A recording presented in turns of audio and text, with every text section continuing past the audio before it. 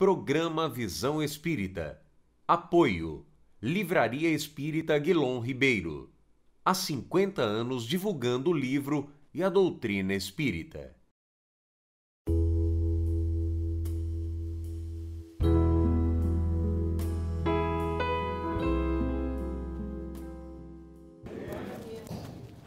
Muita paz a todos. Que Jesus possa luarizar os nossos corações, nos envolvendo na sua ternura e no seu amor. E que nessa manhã nós estejamos abertos para as vibrações de paz, as vibrações de saúde, de pacificação interior que a espiritualidade já semeia aqui nesse nosso ambiente. É com muita alegria que nós estamos aqui pela primeira vez nessa instituição, então a gente está bem feliz e parece até que eu combinei a fala com a nossa companheira que me antecedeu aqui na introdução, quando ela leu a mensagem do Evangelho falando sobre sede perfeitos e os cuidados que nós devemos ter com o corpo e com a alma. Eu trouxe para a nossa reflexão nessa manhã a história de um médico norte-americano, um oncologista chamado Bernie Siegel, um médico que quando estudava, que se sentava no banco da universidade para aprender, tinha o sonho de curar todas as pessoas. Eu vou ser bem rápido e acelerado porque o tempo é curto para falar de um assunto tão profundo, não é que mereceria uma abordagem mais abrangente ele imaginava que a partir do momento em que lograsse a formação acadêmica, recebendo seu diploma de médico, que ele teria condições de curar todas as pessoas. À medida que o curso se desenvolvia, ele ganhava destaque porque era um homem de inteligência singular. E assim que se aproximou a formação, ele optou pela oncologia para trabalhar num campo tão difícil para a criatura humana onde as pessoas têm muita dificuldade de lidar com o diagnóstico e muitas têm até certo preconceito, porque não gostam de tocar nem no nome da doença. Então tem gente que quando se refere a essa doença diz aquela doença, aquela, porque não quer falar no nome. E ele se forma e começa a clinicar. E à medida que ele começa a clinicar, ele começa a se frustrar, porque ele percebe que todo o conhecimento que ele havia angariado na universidade não era suficiente para realizar o sonho dele. Ele tinha o sonho de curar todas as pessoas. Ele achava estranho que pessoas que ele dava o diagnóstico segundo a cátedra científica de que a pessoa viveria três, quatro meses de idade, ele experimentava um estranhamento, porque depois de três, quatro meses de idade, um ano, dois anos, a pessoa voltava com saúde ainda, insistindo em ficar encarnada. E aquelas pessoas que ele diagnosticava como aquelas que viveriam um longo tempo, para surpresa do Dr. Bernie Siegel, elas desencarnavam. Então não havia muito, muita lógica entre aquilo que a ciência propunha e aquilo que acontecia de fato na experiência hospitalar. Ele chegou até mesmo a pensar em abandonar a carreira médica, porque ele não conseguia atinar, compreender muito bem o que significava aquela diferença da prática para o livro científico. Alguns, alguns casos correspondiam ao que dizia a ciência, mas em grande parte ele se surpreendia, porque ele não entendia. Ele era a mesma anamnese para casos iguais, o mesmo tratamento, e as pessoas reagiam de forma diferente. Uns morriam logo e não deveriam morrer, e outros demoravam para morrer e deveriam morrer logo. Ele abandonou por um tempo a carreira médica, mas recluso em sua casa, ele não sabia especificar, já que ele não era espírita, um homem ateu, que não tinha fé religiosa nenhuma que o acalentasse, ele não sabia identificar o que acontecia. Ele tinha a impressão que uma voz dentro da cabeça dele dizia para ele: volte, volte a clinicar, mas quando você voltar a clinicar, olhe para a pessoa não como um diagnóstico, olhe para o ser humano, contemple o ser integral, o ser emocional, coisa que você não fazia antes. Ele reflete alguns meses sobre esta questão e decide voltar a clinicar. E quando volta, volta sob o impacto daquelas vozes que o acompanharam. Ele não sabia se era a voz de um espírito, se era a voz da consciência, o que se passava dentro do coração. Ele volta a clinicar e volta atendendo o conselho daquela voz que sugeriu o retorno à carreira médica. A primeira atitude dele, quando retoma a clínica, é tirar a mesa do consultório. Ele pede para tirar a mesa e a sala dele de consulta parece uma sala de estar. O paciente entrava, se sentava ao lado dele no sofá e sentia mais proximidade, experimentava uma intimidade. Afinal de contas, quem é que não se sente mais confiante no médico quando esse médico é mais humano no tratamento? Existem médicos que você vai para a consulta, eles nem olham para você, eles ficam rabiscando e você diz o que sente, eles te entregam o papel, você dá as costas. Mas quando o médico olha, olha nos seus olhos, assim como na casa espírita, quando você chega e é atendido fraternalmente, com carinho, com acolhimento, é diferente. O tratamento espírita já começa ali no portão, na recepção. A maneira como você é recebido já implica na continuidade do teu equilíbrio emocional e espiritual. E ele começou a tratar as pessoas assim com mais proximidade, de forma que causou um estranhamento na comunidade de médicos da qual ele fazia parte.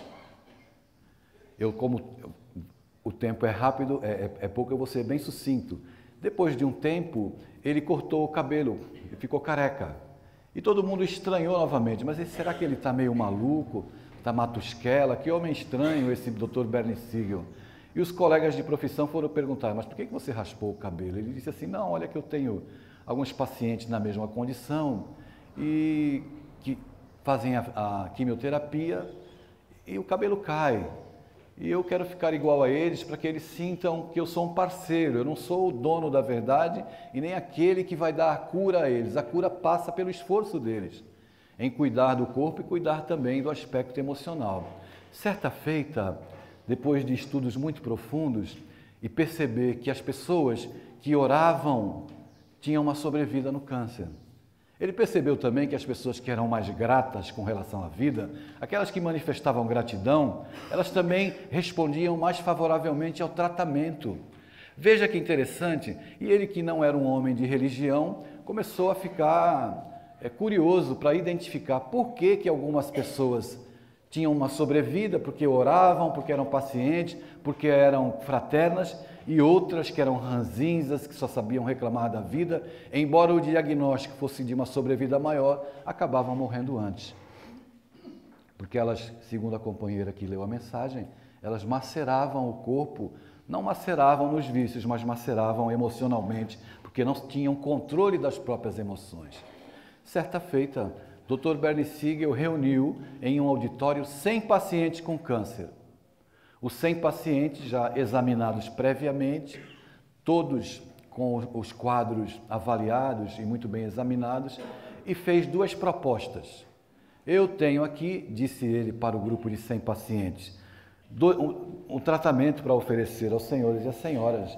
Na verdade, são dois tipos de tratamento. O tratamento que eu posso propor para todos esses dois tipos de tratamento que eu ofereço servem para os 100 pacientes aqui presentes.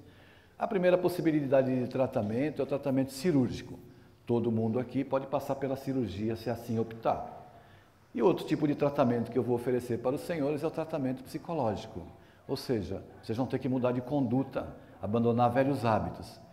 Pasmem os senhores e as senhoras aqui nessa manhã, que do universo de 100 pacientes, 80% optaram pela cirurgia. Ou seja, as pessoas querem ser curadas, mas elas não querem curar-se. Funciona mais ou menos assim. Hoje à tarde, quando você estiver na sua casa, você sente uma dor de cabeça. O que, que você vai fazer? Hein, pessoal? Tomar um remédio, né? A dor de cabeça vai passar. Aí, quarta-feira, de manhã, a dor de cabeça volta de novo. Aí, o que, que a gente faz? Toma o remédio de novo. Aí, fica dois dias sem dor de cabeça, sábado ela volta a doer, a gente toma o remédio de novo. E eu pergunto, a dor de cabeça é o sintoma ou é a doença? Hein, pessoal? Está valendo nota para ir para o céu, tá certo? A dor de cabeça é o sintoma.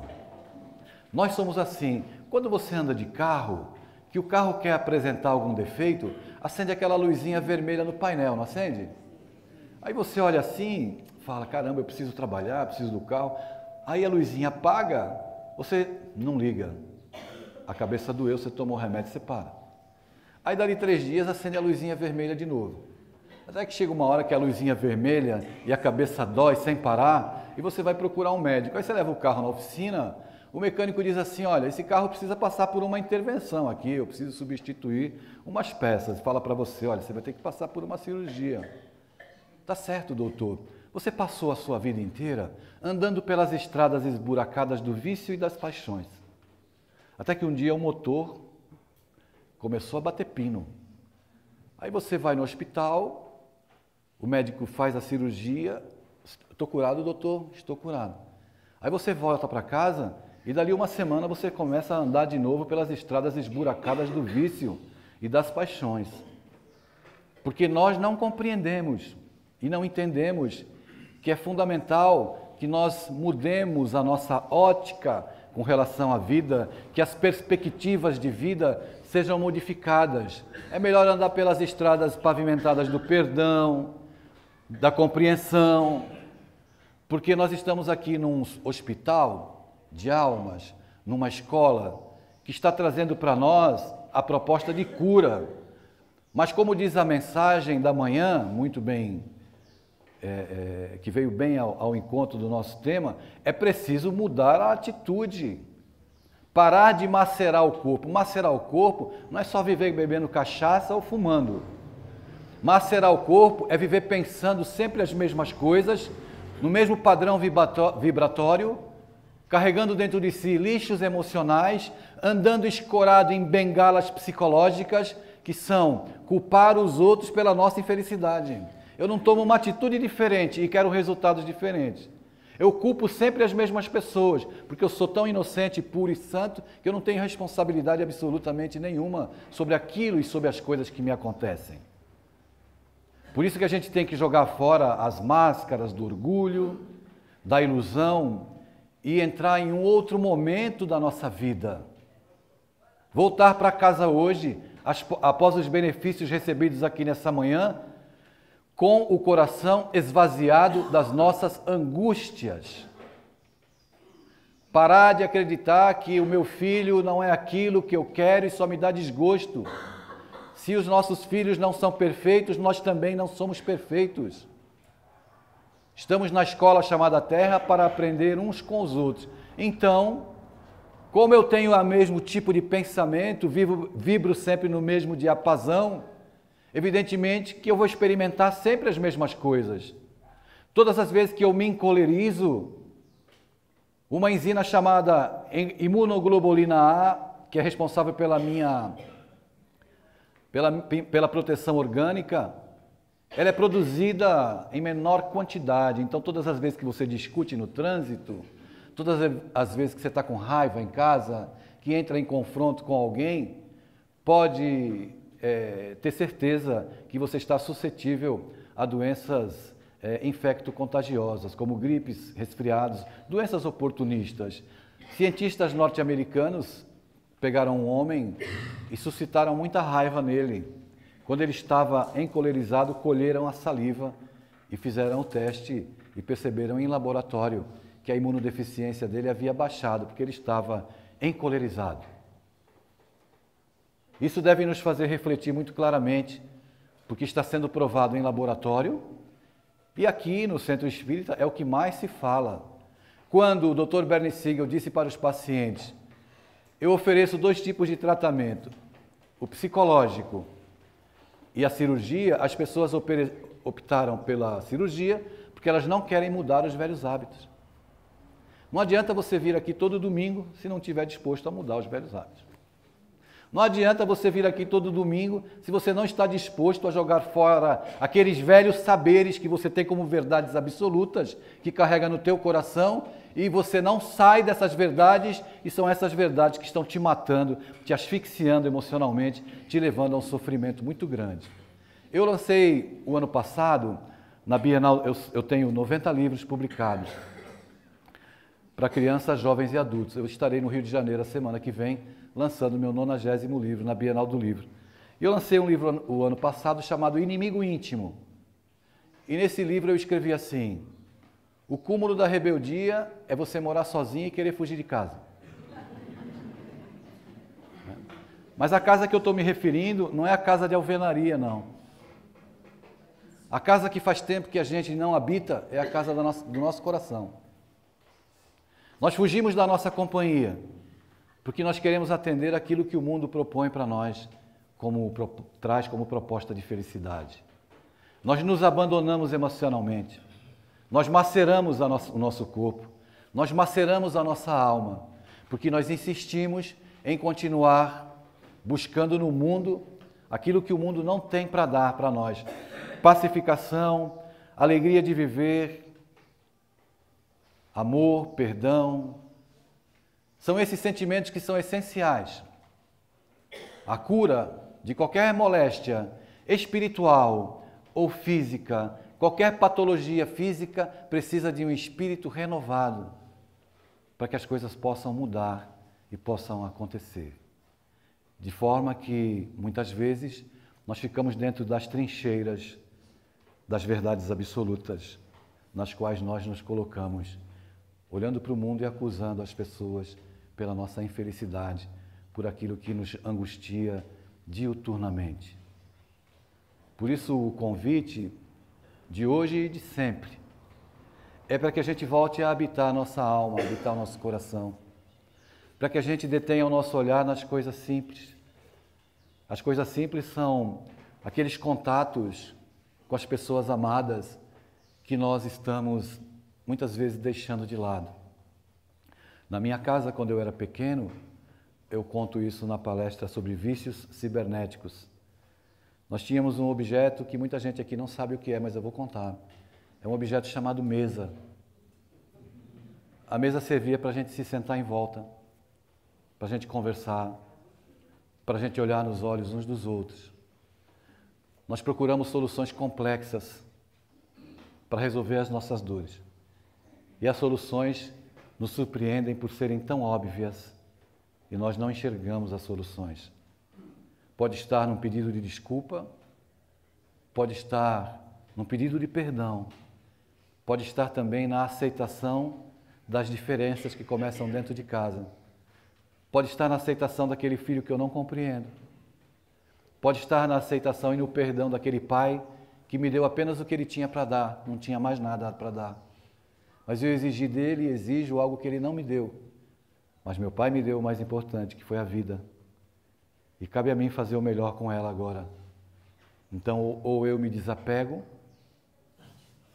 desses lixos, dessas coisas densas que eu carrego na minha alma, ou eu vou perecer como uma flor que murcha, que perde o próprio perfume, porque deixa de contemplar a beleza da vida, a beleza dada por Deus para nós, que é a maior de todas, que é a nossa capacidade de amar. Ainda que tu andes hoje por estradas escuras, ainda que os teus pés estejam sangrando sob espinhos da indiferença e da compreensão, ainda que tu não vejas adiante uma luz que tu possa julgar a solução dos teus males, pensa com clareza e com honestidade de propósito e de sinceridade com Deus. Que essa dor que visita a tua vida agora que pode ter chegado aos teus dias como um diagnóstico, como alguém que abandonou os projetos que tu tinhas, que anelavas de relacionamento, ou de família, ou trabalho que você perdeu e que às vezes o desespero te visita. Pensa que essas dores não são castigos enviados do céu, porque tu não és um filho amado de Deus. Porque todas as criaturas no mundo, estejam elas onde estiverem, nos cárceres, nos leitos hospitalares, nos asilos, nos institutos de correção da juventude equivocada, pensa que mesmo nesses lugares, Deus chega como um raio de sol, trazendo luminosidade para os corações, mas para os corações que querem deixar a sombra. Os corações que querem deixar a própria sombra da reclamação, da queixa, essas nuvens densas que ensombram as nossas, os nossos olhos e nos impedem de olhar com mais fé e esperança e entender que a dor que nos visita agora ela vem trazer um recado. Olha, talvez você precise mudar o seu caminho. Olha, talvez você precise largar para trás tantas coisas e tantas cobranças que você tem sobre si mesmo. Lembremos-nos, meus irmãos, que a doutrina espírita não veio salvar ninguém. Ela veio propor educação para as nossas almas e aproveitar aquilo que a doutrina espírita tem como proposta educativa significa que nós devamos nos curvar muitas vezes, nos resignar com aquilo que acontece e que nós não podemos modificar. Mas isso não significa também que nós devemos abandonar a luta, que nós devemos deixar de lado, que nós devemos perder as esperanças, que nós devemos abandonar a nossa vida, abandonar aqueles que nós amamos. Então, todo gesto teu de amor é um gesto que vem abençoado pela espiritualidade e por Deus. Toda ação sua no bem é um gesto que vem perfumado com o perfume da bondade divina que deve ser esparzida onde quer que estejamos. Nós, quando abraçamos a fé, ficamos arrebatados e queremos dar um salto, um salto quântico, nos tornando santos. E cometemos um erro muito grave. É importante que nessa manhã quando buscamos aqui o acolhimento, a orientação, a paz interior, nós tenhamos a consciência plena de que nós somos seres humanos ainda em processo evolutivo. Um amigo meu me dizia sempre, quando eu demonstrava uma certa ansiedade e quando eu errava, eu me sentia muito angustiado, ele dizia assim: calma, meu amigo, nós somos obsessores em progresso ainda. E quando ele me dizia isso, ele me dava um choque de realidade que eu aprendi que eu sou um ser humano, que não é porque eu escrevi tantos livros ou porque eu faço palestra no Brasil inteiro ou faço palestras em escolas para jovens que eu estou na condição de santo. Quando eu faço palestra para pais, eu sempre digo aos pais, todos que estão me ouvindo falar, que estão se sentindo impactados com a minha mensagem, tenham a certeza que essa mensagem nasce dos lábios de um pai que não foi perfeito. Por isso eu estou aqui falando porque eu aprendi com os meus erros e vim aqui para alertá-los para não fazerem as mesmas coisas que eu fiz. Então, já se encaminhando para o final do nosso encontro, eu agradeço imensamente a oportunidade de estar aqui essa manhã, pedindo e sugerindo, na verdade, aos senhores e às senhoras, deixem a luz do sol entrar nas vossas vidas. Não esse sol, um sol chamado Jesus de Nazaré, que continua sendo a única novidade do planeta Terra. Não existem novidades que não passem pelo Evangelho. Não existem novidades para trazer a nossa saúde mental e espiritual que não seja a mensagem de Jesus. A gente quer deixar um abraço muito carinhoso. Eu sou do Guarujá, do litoral de São Paulo, moro em Recife. Trouxe um abraço bem quentinho lá de Olinda para vocês um cheirinho de tapioca com gosto de cuscuz. Mas o que eu trouxe de melhor mesmo foi o desejo sincero de ver que os senhores e as senhoras saiam daqui essa manhã com um sorriso no rosto. Para que o medicamento já comece a repercutir na sua alma. Seja mais paciente, seja mais tolerante consigo mesmo. Perdoe as tuas próprias falhas. E olhe em derredor se tu encontrares um filho que tu não compreendes, se tu encontrares uma companheira, um companheiro que tu não compreendes, né, não desdenhe dessa logística divina que levou séculos para te reunir com esses espíritos. Talvez a gente não se encontre com eles tão cedo no nosso caminhar de aprendiz. Então aproveite esses momentos e todas as vezes que a dor bater na tua porta, evite o desespero. Exercite a paciência, seja doce. Quando algo te contrariar, ou quando você se dirigir ao seu filho, não grite, não adjetive pejorativamente, não compare seu filho com ninguém, nem se compare com outras pessoas. Você é você com seu perfume único, com a sua essência única. um belo projeto de anjo que está aqui essa manhã, um lindo filho, amado e querido por Deus. Muita paz.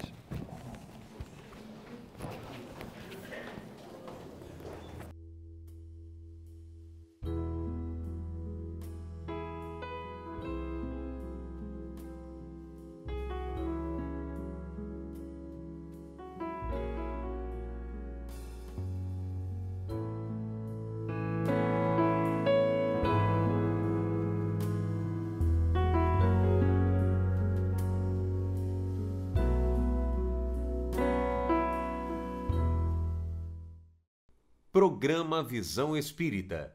Apoio. Livraria Espírita Guilom Ribeiro. Há 50 anos divulgando o livro e a doutrina espírita. Você gostou do programa que assistiu?